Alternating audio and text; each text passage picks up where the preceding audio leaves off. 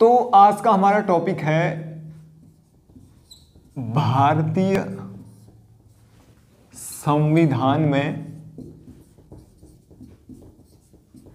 भारतीय संविधान में हिंदी का स्थान। हिंदी का स्थान। यानी कि भारतीय संविधान में हिंदी कहाँ पे है, क्या स्थान उसको मिला हुआ है ठीक है? वो आज हम यहाँ पे जानने वाले हैं, ठीक है? इससे पहले, यानी कि पिछली वीडियो में हमने पढ़ा था हिंदी भाषा के संवैधानिक विकास के बारे में, ठीक है? जहाँ पे हमने जाना था राजभाषा के बारे में और जाना था कि हिंदी को राजभाषा का दर्जा कब दिया गया था, क्यों दिया गया था। उसके बाद हमने पढ़ा था राष्ट्रीय हिंदी दिवस कब मनाया जाता है और क्यों मनाया जाता है। विश्व हिंदी दिवस कब मनाया जाता है और क्यों मनाया जाता है। मातृभाषा दिवस कब मनाया जाता है, क्यों मनाया जाता है। उसके बाद हमने पढ़ा था पत्रकारिता दिवस के बारे में और वो कब मनाया जाता है और क्यों उसको मनाया जाता है, ठीक है? तो आज हम उसी के आगे बढ़ेंगे और आज हम जानने वाले हैं संविधान में हिंदी के बारे में, ठीक है? तो हिंदी जो है वो भारतीय संविधान में कहाँ पर है? तो सारा आज हम उसकी फुल डिटेल यहाँ पे जानने वाले हैं, ठीक है? तो बात करें भारतीय संविधान में हिंदी की तो भारतीय संविधान के बारे में आपको कुछ चीज़ें पता होनी चाहिए, ठीक है? सबसे पहली चीज़ कि जो हमारा भारतीय संविधान है, उसमें टोटल जो भाग हैं, वो हैं आपके 22 ठीक है? तो भारतीय संविधान में अगर पूछे टोटल कितने भाग हैं तो 22 भाग हैं, ठीक है? और अगर आपसे पूछे कि भारतीय संविधान में टोटल अनुसूचियाँ कितनी हैं, ठीक है? तो हमारे भारतीय संविधान में टोटल 12 अनुसूचियाँ हैं। कितनी अनुसूचियाँ हैं? टोटल 12 अनुसूचियाँ हैं या जिनको हम विषय भी कहते हैं। ठीक हो गया? ये तो हमको पता चल गया। ठीक है? उसके बाद टोटल 22 भाग तो हैं हमारे पास, लेकिन यहाँ पे जो भाग 17 है हमारा, भाग 17 भाग 17 जो है, उसमें राजभाषा का वर्णन है। किसका? राजभाषा का वर्णन है, और ये है आपका अनुच्छेद 343 से लेके 343 से लेके कहाँ तक है? तीन सौ इक्यावन तक, थ्री फोर थ्री से थ्री फाइव वन तक, ठीक है? भाग सत्रह में किसका वर्णन है? राजभाषा का वर्णन है, ठीक है? और ये अनुच्छेद 343 से लेकर तीन सौ इक्यावन तक है। और वहीं बात करें हम 12 अनुसूचियाँ हैं टोटल, और आठवीं अनुसूची की अगर हम बात करें भारतीय संविधान की आठवीं अनुसूची जो है, उसमें क्या है? आठवीं अनुसूची में। आठवीं अनुसूची में क्या है? 22 भाषाओं का क्या है? 22 भाषाओं का वर्णन है। क्या है? 22 भाषाओं का वर्णन। ठीक है?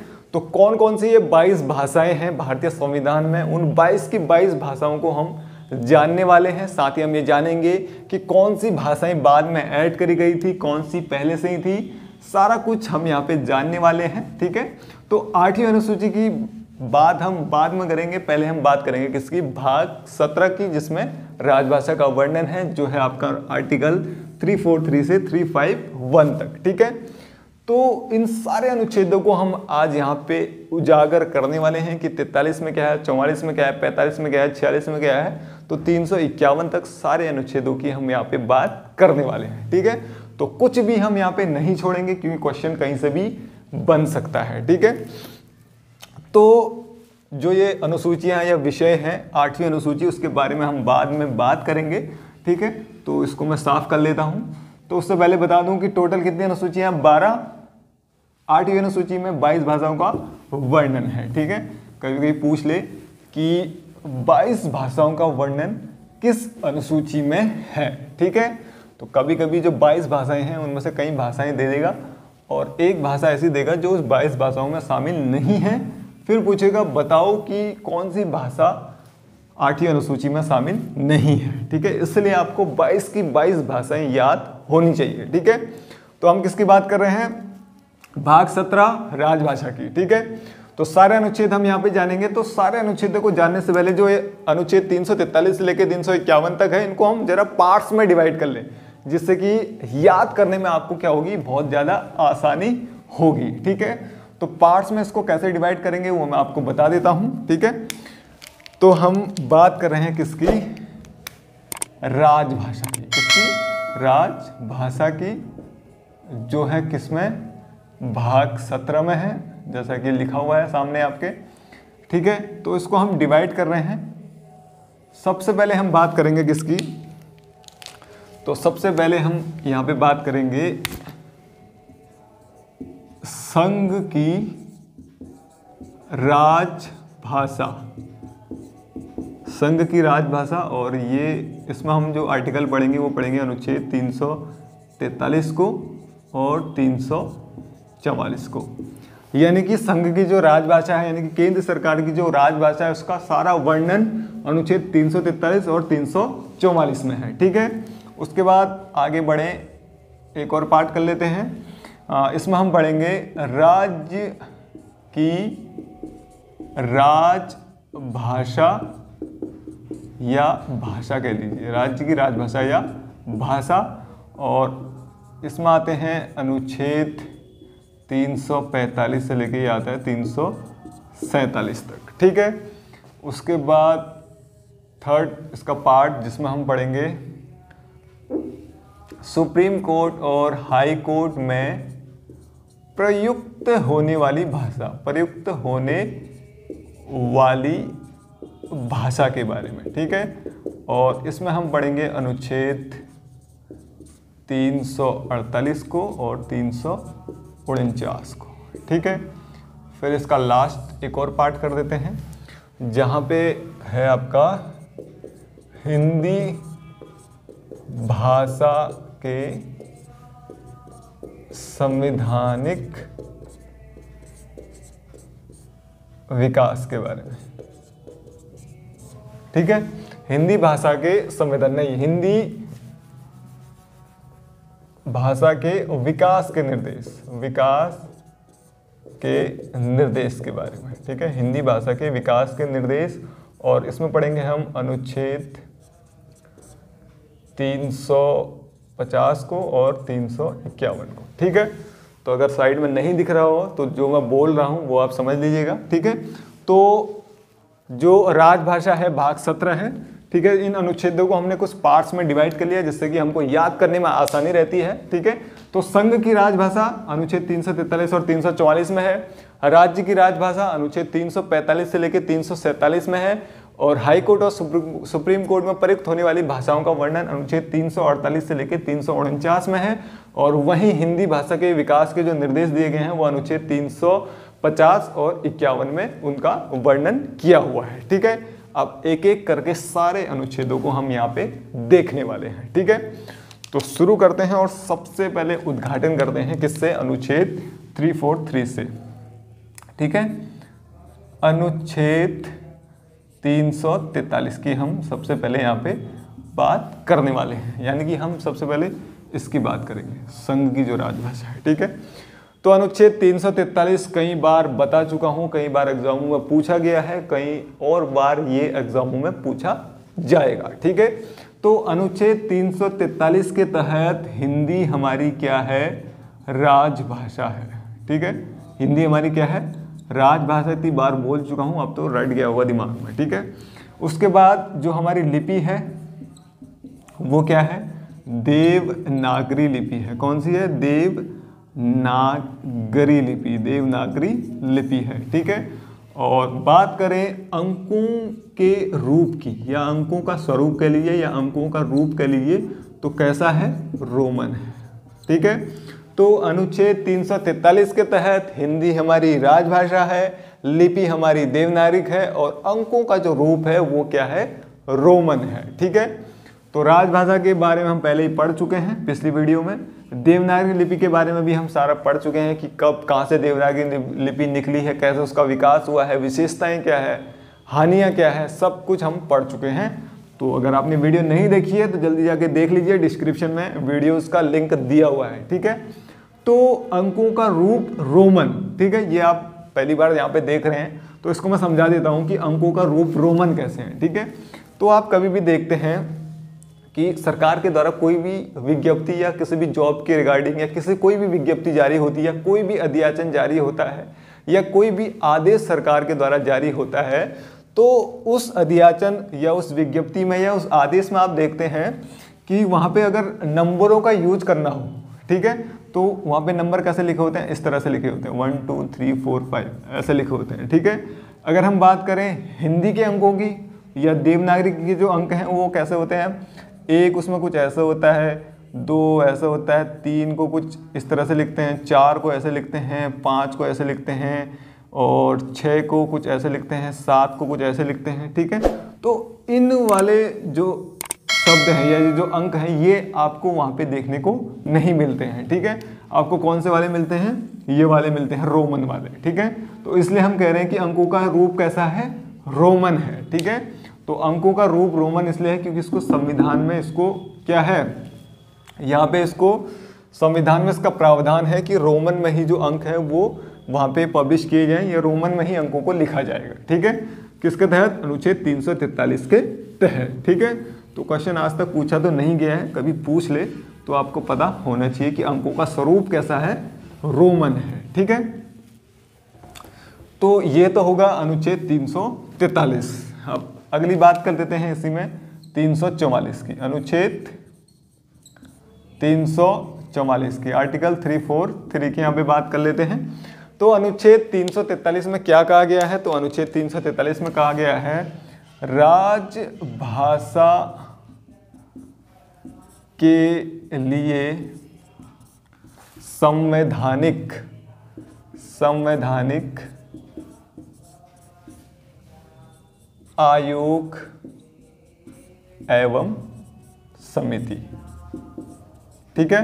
तो राजभाषा के लिए संवैधानिक आयोग एवं समिति, ठीक है? ये किसमें है? अनुच्छेद 344 में। यानी कि अगर राष्ट्रपति को राजभाषा के संबंध में, ठीक है, कोई अगर सहायता चाहिए, ठीक है, या कोई सुझाव चाहिए तो उसके लिए क्या बनाए गए हैं? ये आयोग एवं समिति का यहाँ पे गठन किया गया है, ठीक है? तो बात कर लेते हैं आयोग एवं समिति का। तो सबसे पहले हम बात करते हैं राजभाषा आयोग की। किसकी बात करते हैं? राजभाषा आयोग की। राजभाषा आयोग। ठीक है? तो सबसे पहले राजभाषा का आयोग जो बना था, वो बना था आपका 1955 में। ठीक है? और ये स्थापित किया गया था यह राजभाषा आयोग का सर्वप्रथम गठन किसके द्वारा किया गया? तो गठन किया गया था डॉक्टर राजेंद्र प्रसाद के द्वारा, डॉक्टर राजेंद्र प्रसाद के द्वारा। सर्वप्रथम राजभाषा आयोग का गठन किया गया था कब? 1955 में। अगर पूछ ले कि उस समय इसके अध्यक्ष कौन रहे थे? अध्यक्ष रहे थे आपके बी जी खेर, ठीक है? या जिनका पूरा नाम लिखूं मैं तो बाल गंगाधर बाल, गंगाधर, खेर उनका पूरा नाम है, ठीक है? तो सर्वप्रथम राजभाषा आयोग का गठन कब हुआ था? उन्नीस सौ पचपन में हुआ था। किसने गठित किया था? डॉक्टर राजेंद्र प्रसाद ने गठन किया था। अगर पूछ ले कि अध्यक्ष कौन थे तो अध्यक्ष थे आपके बीजी खेर, यानी कि बाल गंगाधर खेर। अगर सदस्य पूछ ले कि कितने इसमें सदस्य होते हैं?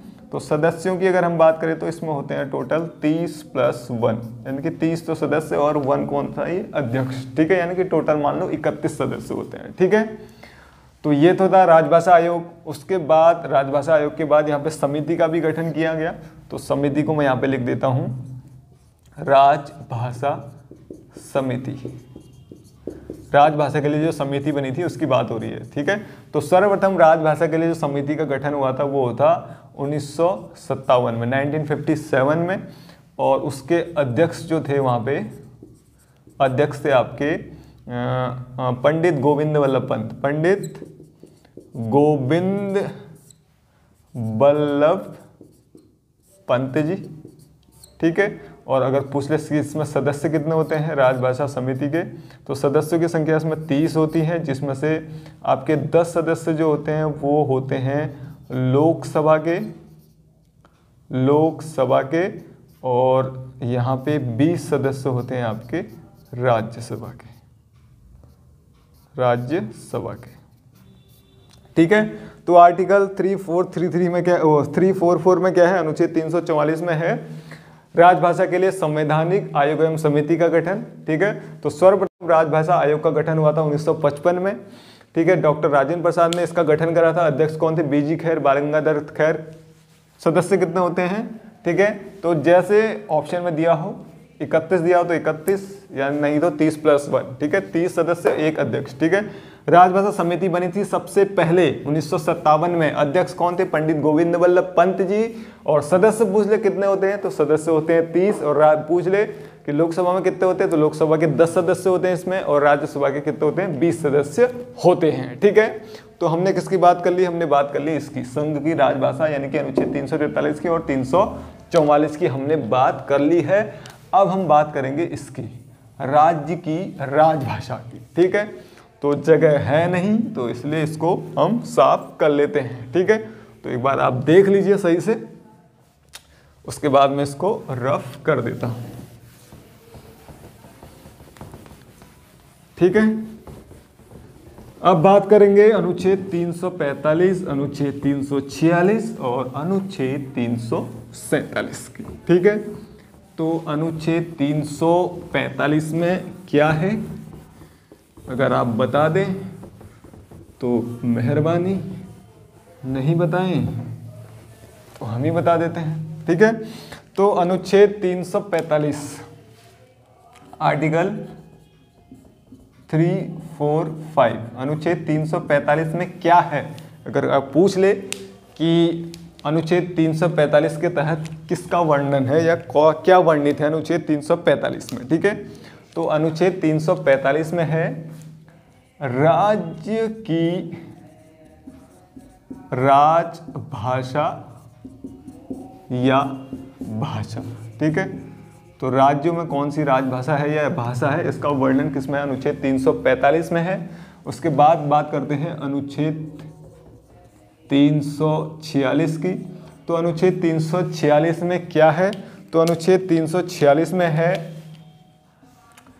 एक राज्य से दूसरे राज्य, एक राज्य से दूसरे राज्य, एक राज्य से संघ के बीच संवाद या वार्तालाप कह दो, संवाद की भाषा। ठीक है?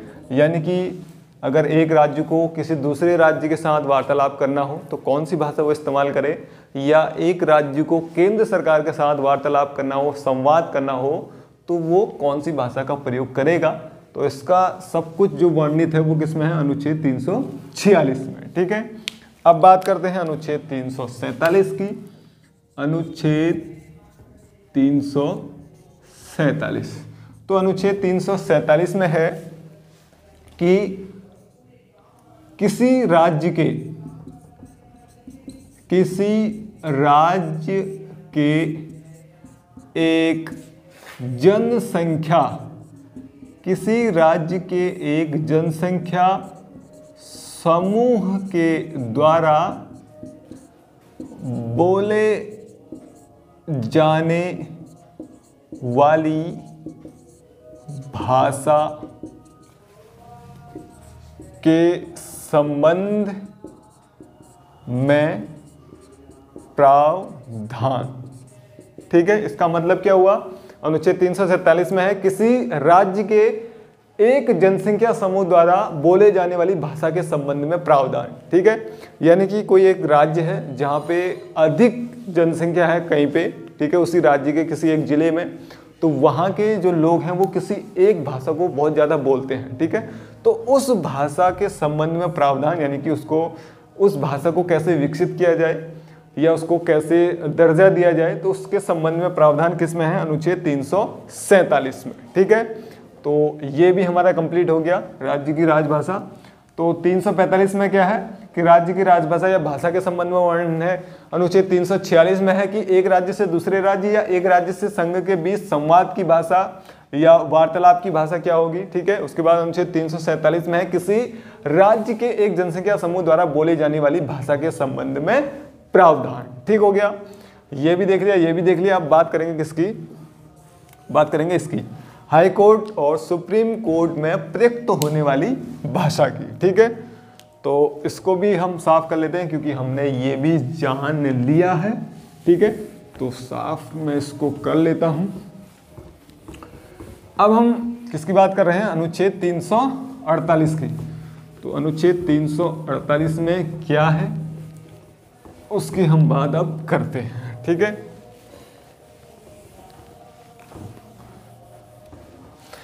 तो अनुच्छेद 348 ठीक है?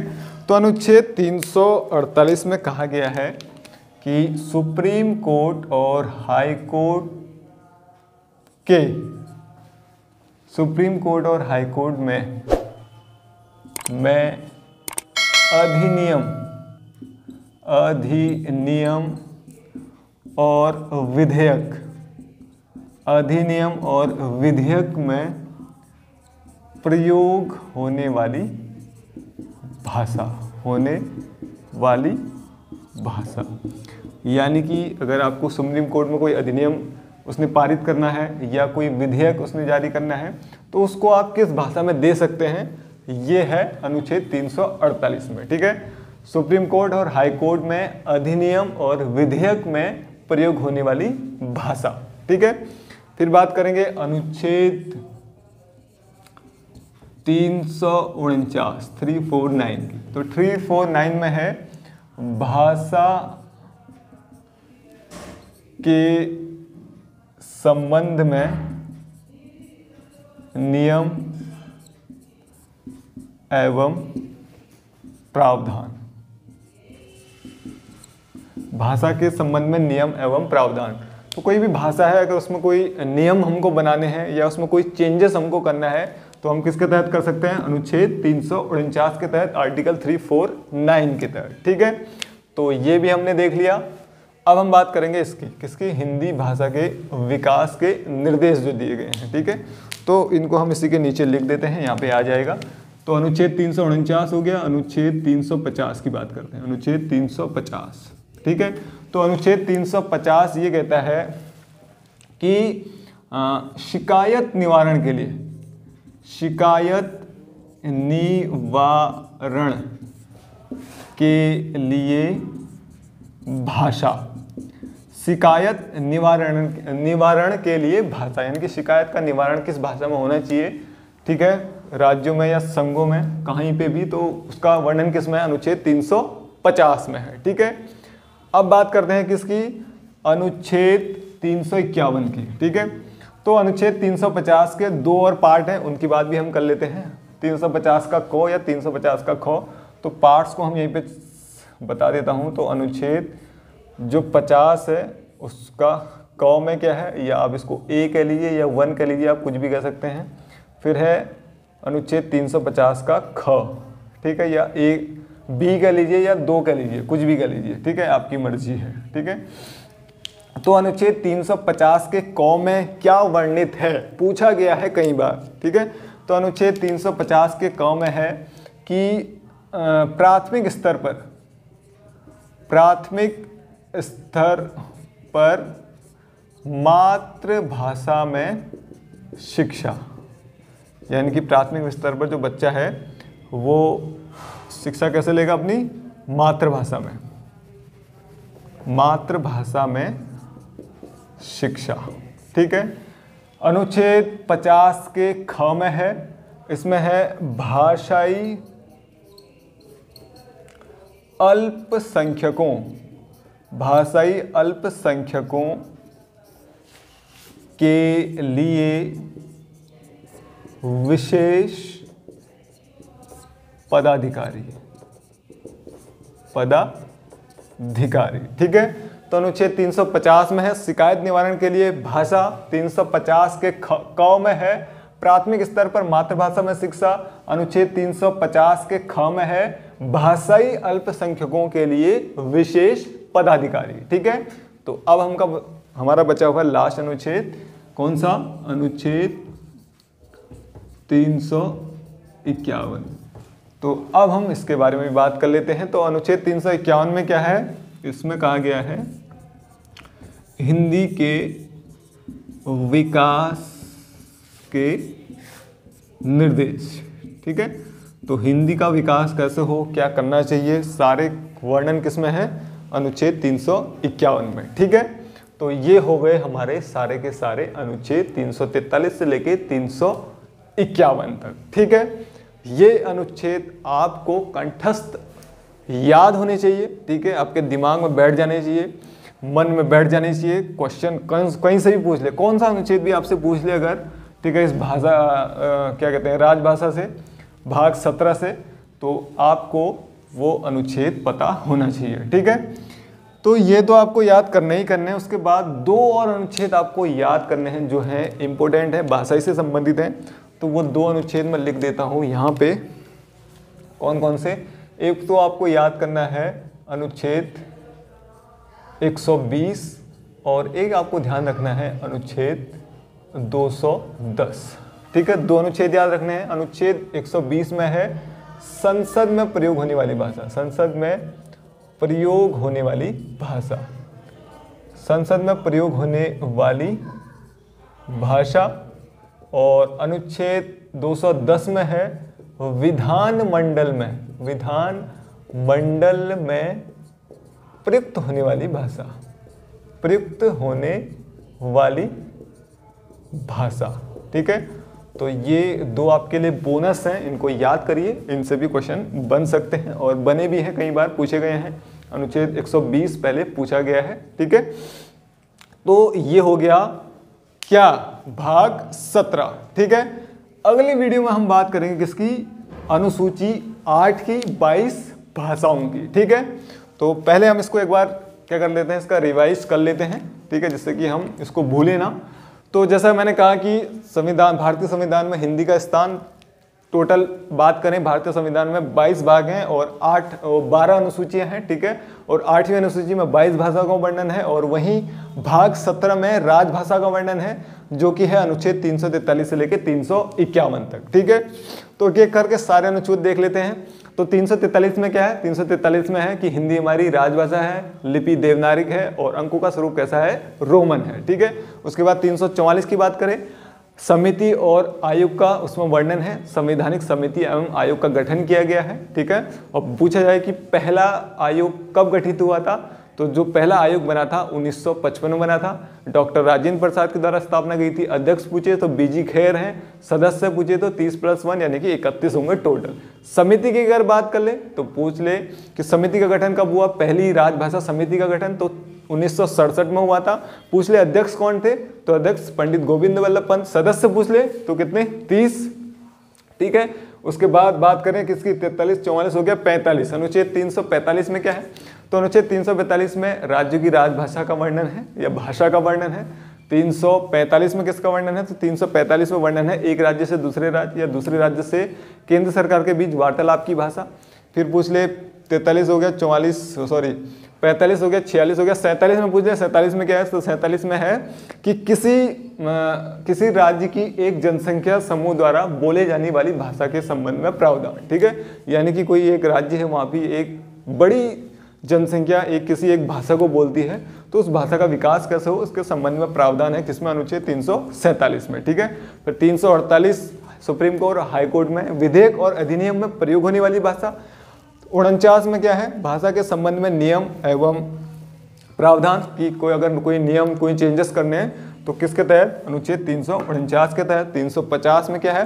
कि शिकायत निवारण के लिए भाषा 350 के क में है कि मातृभाषा जो होगी, वो प्राथमिक स्तर पर जो शिक्षा मिलेगी, वो मातृभाषा में मिलेगी। 350 का ख पूछ ले तो भाषाई अल्पसंख्यकों के लिए विशेष पदाधिकारी उसके बाद तीन सौ इक्यावन हिंदी के विकास के निर्देश उसमें दिए गए हैं। फिर दो आपको और याद करने 120 और 210 120 है कि संसद में प्रयोग होने वाली भाषा और 210 है विधान मंडल में प्रयोग होने वाली भाषा। ठीक है? तो सारे हमने यहाँ पे याद कर लिए हैं। अब हम भूलेंगे नहीं बिल्कुल भी।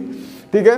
तो क्लास को यहीं पे समाप्त करेंगे। अगली वीडियो में हम बात करेंगे आठवीं अनुसूची की सारी की सारी भाषाएँ देखेंगे 22 की 22 भाषाएँ कौन सी है, कौन सी पहले ऐड की गई थी, किस संविधान संशोधन के द्वारा बाद में भाषाओं को ऐड करा गया, कितनी भाषाएँ ऐड हुई बाद में तो सारा कुछ हम वहाँ पे देखने वाले हैं, ठीक है?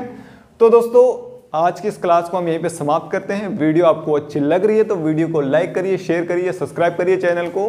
अगर आप दोस्तों कर रहे हैं तैयारी, पुलिस भर्ती एल की या प्रवक्ता की या ऐसे किसी भी एग्ज़ाम की जिसमें हिंदी पूछी जाती है, ठीक है? तो आपके लिए दोस्तों, ये चैनल काफ़ी फ़ायदेमंद साबित होने वाला है। इस चैनल की हिंदी को आपने देख लिया तो उसके बाद आपको ना ही कोचिंग सेंटर जाने की ज़रूरत है, ना ही दोस्तों किसी भी बुक को पढ़ने की ज़रूरत है, ठीक है? तो सारा सिलेबस हम यहाँ पे कवर करेंगे, ठीक है? तो यहाँ पे हमारी जो हिंदी है हिंदी का जो मेन टॉपिक है, यानी कि पहला पहला जो टॉपिक होता है, वहाँ पे क्लियर हो चुका है। एक दो दिन बाद हम शुरू करेंगे क्या? वर्णमाला। ठीक है? एक ही और टॉपिक हमारा बचा हुआ है, आरटी अनुसूची, उसको हम पढ़ेंगे। उसके बाद हम वर्णमाला शुरू कर देंगे, ठीक है? तो वर्णमाला से काफ़ी क्वेश्चन पूछे जाते हैं, कोई भी एग्ज़ाम आप ले लीजिए, ठीक है? छोटे एग्ज़ाम से लेकर बड़े एग्ज़ाम की अगर हम बात करें तो वर्णमाला से बहुत सारे क्वेश्चन यहाँ पे पूछे जाते हैं और वर्णमाला आपको ऐसी पढ़ाई जाएगी कि आप दोबारा उसको नहीं बोलेंगे, ठीक है? तो दोस्तों, आज की इस वीडियो में इतना ही। Thank you thank you for watching